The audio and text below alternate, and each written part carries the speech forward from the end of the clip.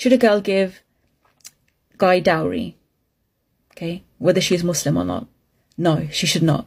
If she is Muslim, there's no place in Islam for doing this. This is just a cultural thing. It's a really messed up thing, which has ruined many people's lives, which has really, you know, brought about the inner greed of many people who are already greedy and they've destroyed so many girls' lives. So many girls have been driven to suicide.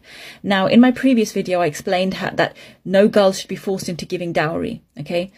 Um, no one's allowed to force. But this video will give you some scenarios. Okay or one scenario, depending on the time I have, of when in-laws do not force a girl because they know that, okay, if we force her, then she's not going to marry our son. Okay, or, or the guy thinks this as well. So when they can't force, what they do is um, they say things like, or they get their son to say things like, and I, and I've seen this happen. Okay, so I'm giving real life real life examples here.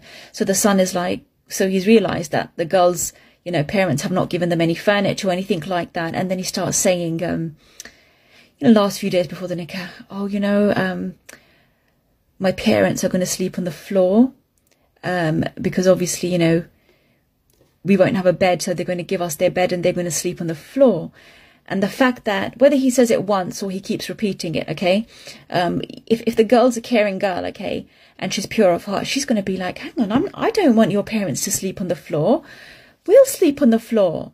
And you know, um, I'm I'm talking about British cases here as well. Like the examples I'm giving are British girls. A lot of a lot of us, okay, we may be sour, okay, but we're very upfront. When we, we don't have those two faces, you know, we're very upfront. Um, and I, I guess that's what people don't like, or, or they do like, depending on the situation. You know, when it when it's in their favour um, then they like it. Uh, when it's not in their favour and we speak the truth, then they don't like it.